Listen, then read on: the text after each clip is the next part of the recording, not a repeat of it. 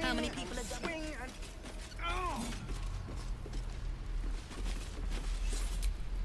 Go on. Give me a best shot.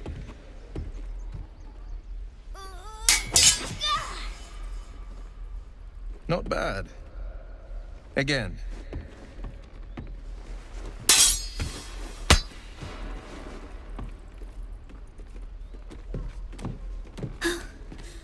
I can't do it. I'm not like you.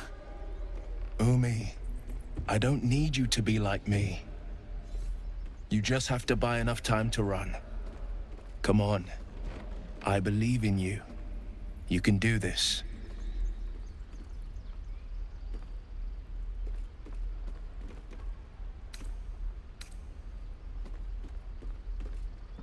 Hmm.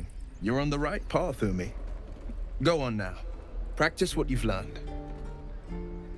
Well met. The Blade of Frontiers at your... The man's smile bends downward, and his thoughts become yours. You are the blade of frontiers racing through the wastes of Avernus. Just ahead, a diabolical figure, red skin, single curled horn, blazes with flame, bloodied great axe held. Hell's great fires. You were on the ship.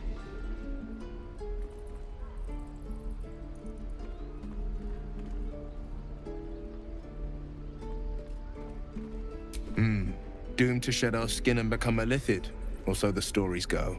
But we haven't sprouted any tentacles. Not yet, anyway. Could just be good luck.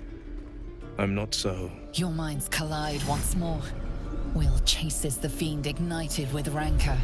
She is an infernal war devil, a threat to the living, evil incarnate. Shit! You saw her. Advocatus Diaboli.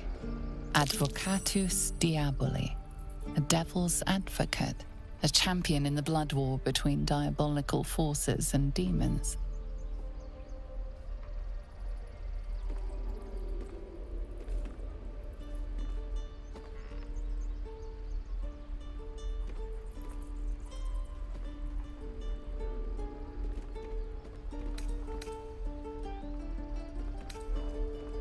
That ship sailed the Styx already. All I can hope for is to limit the damage.